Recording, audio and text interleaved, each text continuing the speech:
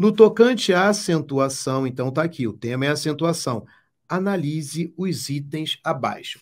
Nós temos aqui ó, várias palavras destacadas aqui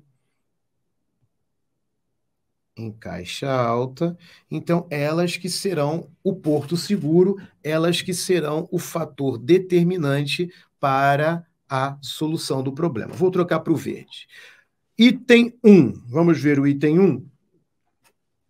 Coisas que antes eram impossíveis aos nossos olhos. A palavra impossíveis é o fator determinante. A tonicidade do termo destacado recai na antepenúltima sílaba razão porque é acentuado.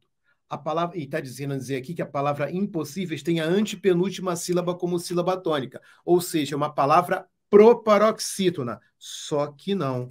Olha só. Impossíveis.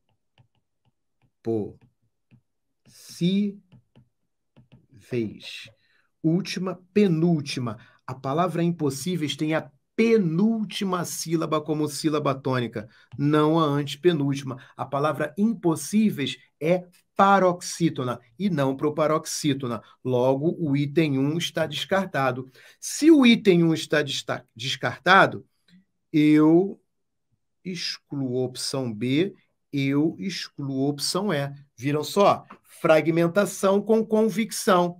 Tendo domínio da situação, eu enxuguei, eu resumi, fragmentei, pois tenho convicção. Então, vejam só, a partir do primeiro item, eu já elimino duas opções. Vamos adiante, então. Anos atrás era inacreditável que, com um pequeno aparelho em mãos, o acento do termo destacado se justifica por ser paroxítona. Vejam só. I, na, cre, de, tá, véu. Opa, a penúltima sílaba é uma sílaba tônica. Então é palavra paroxítona sim. E é paroxítona terminada em L. Logo, o que se diz no item 2 é verdadeiro, é correto. Logo, eu já posso eliminar mais uma, eu elimino a opção D. Viram só? Fragmentação com convicção. Então, vamos ficar entre 2 e 3 ou 2 e 4. Opções A ou C. Vamos à opção. Vamos ao item 3, melhor dizendo. Também, a palavra também acentua-se o termo destacado por ser paroxítona terminada em EM. Também. Olha aqui, ó. A última sílaba é a sílaba tônica. Logo, não é palavra paroxítona, mas sim palavra oxítona. O item 3, ele é incorreto. O item 3, ele é incorreto. Então, eu elimino a opção A. E a resposta estará na opção C. Vamos só confirmar o item 4? Negócios é paroxítona terminada em ditongo crescente, ó negócios. Última, penúltima sílaba tônica. Ok, é paroxítona sim. Agora o ditongo crescente, olha só. O I é semivogal e o O é vogal. Semivogal é o som menos intenso, vogal é o som mais intenso. Então vai crescendo, sai de semivogal para vogal, vai crescendo, ditongo crescente. Logo, o item 4 é correto, confirmada a opção C como V da vitória. Quem sai na frente bebe a água mais limpa. Legal? Então, olha o que nós oferecemos. Você vai levar um curso completo de matemática básica. Aqui você não está sozinho, aqui é do básico ao avançado. Ah, Marcão, tenho muita dificuldade. Então você vai começar pelo módulo de matemática básica. Tá tudo lá bonitinho para você, tá? Depois, você vai levar o curso de matemática para PMPE, com foco no último edital. E a surpresa, você vai levar também um curso de português focado na PMPE.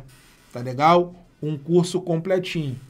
E como eu venho falando nas aulas, você não está sozinho. Aqui no MPP ninguém fica para trás.